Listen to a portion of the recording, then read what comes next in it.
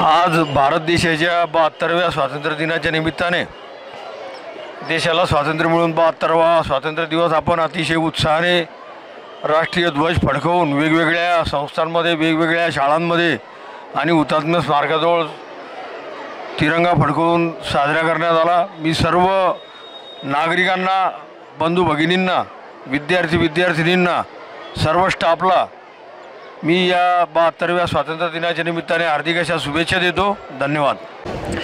पंधरा ऑगस्टच्या निमित्ताने सगळ्या शेंदोर्णी आणि पंचकृषीतील नागरिकांना मी खूप खूप शुभेच्छा देतो आणि त्यांना अभिनंदन त्यांचं करतो.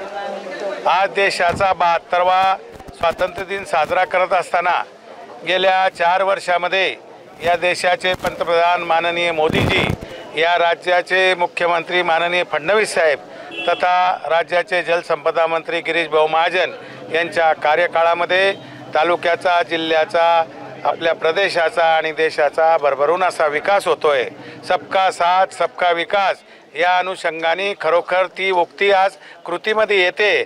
सर्व समाजाला बरोबर घेऊन या देशामध्ये प्रलंबित प्रश्न सोडवण्याचं काम आज सुरू आहे.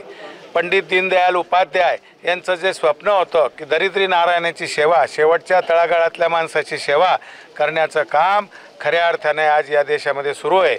ज्या थोर अशा हुतात्म्यांचं बलिदान झालं आहे ज्यांच्यामुळे आपल्याला स्वातंत्र्य मिळालं त्यांना मी नमन करतो आणि पुन्हा आपल्या सगळ्यांना शुभेच्छा देऊन माझं मनोगत संपवतो. धन्यवाद. जय हिंद जय महाराष्ट्र.